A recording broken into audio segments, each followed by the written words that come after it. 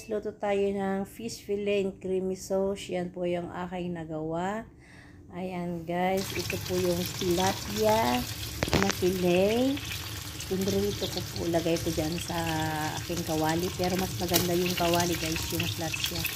Kaya yun, yung aking kawali hindi pa masyadong mainit. Kaya kailangan pala sobrang init yung mantika natin yung kawali para hindi siya dumikit guys. Kahit ganyan yung aking palayok na dikit pa rin kasi yung mantika hindi siya masyadong mainit nung nilagay ko guys.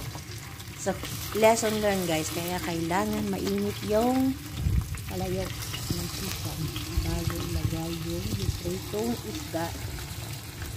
Yan guys. Ay hirap kong tanggalin dyan kasi dumikit siya hindi siya maganda pagkaprito kaya yan guys. Hatak-hatak. Ito po yung aking ingredients sa bawang.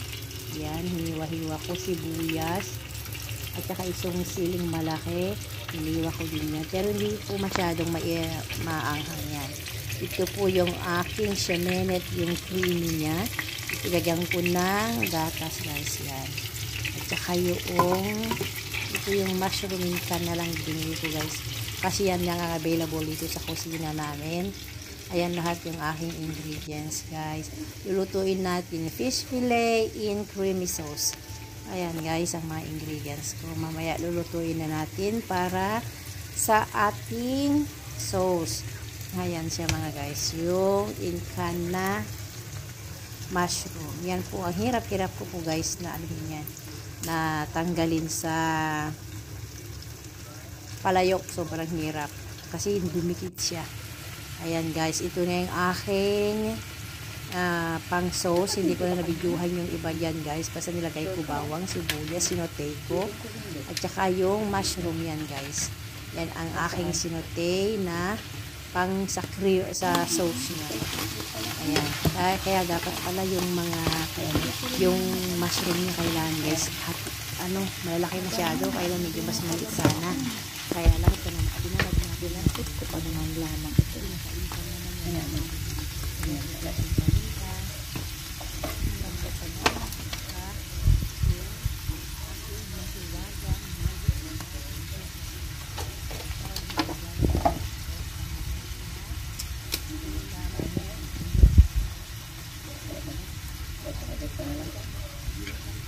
Andiyan na may ingredients.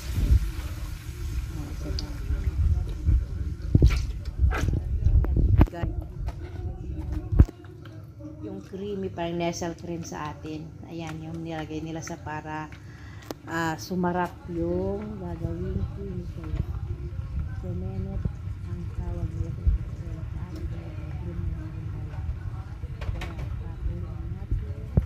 ng kuluan para maluto yung mga ingredients guys yan, nilagyan ko ng konting tubig yung aking lagayan ng siyang nestle cream para matanggalin na sa loob. Dagdagan ko rin guys ng um, ano um, uh, milk. 1% lang yung binili ko guys para madami yung sauce niya. Kasi coconut sana hindi ako nakabili ng coconut. Mas masarap yan guys pagka yung pang uh, sauce yan ng mga fillet, fish fillet o kaya chicken fillet. Mas maganda po yan yung gatas kaysa yung gata. Masyado kasing magata po yan yun. Pagkagata sa ay gata ng yung ilagay natin. Kaya mas maganda yung milk talaga.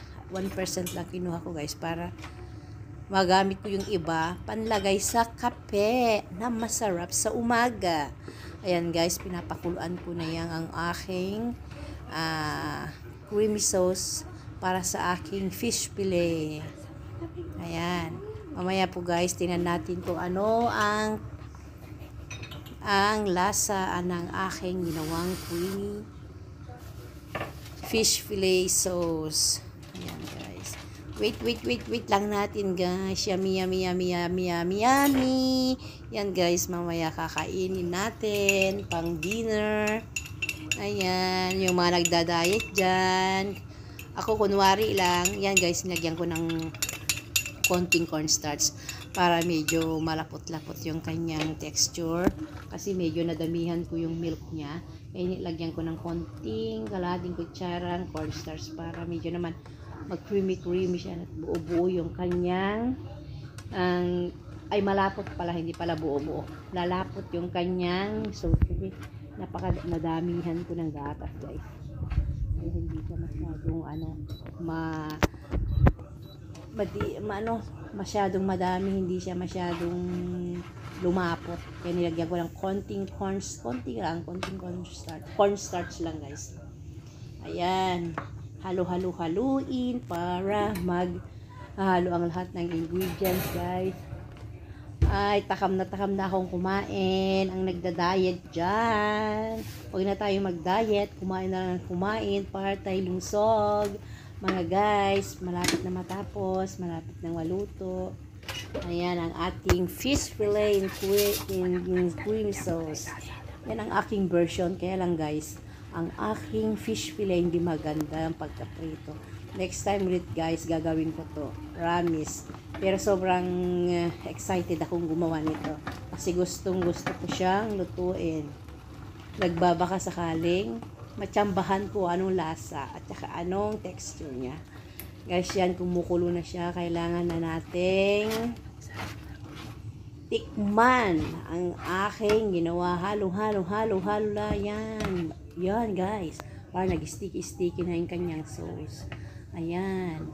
Gumanda na yung texture niya kasi kanina guys, ang dami kong nilagay na, na ano, na milk. Parang kalahati na yata na isang litro. Kaya guys, yan ang akin yan. Nilagay ko na yung aking tilapia hindi masyado naluto. Yan guys, kaya kailangan iluluto ng maayos yung tilapia guys para mas maganda yung texture niya. Ayan. Hindi ko na niluto yung, yung kabila niya kasi madudurog na siya guys.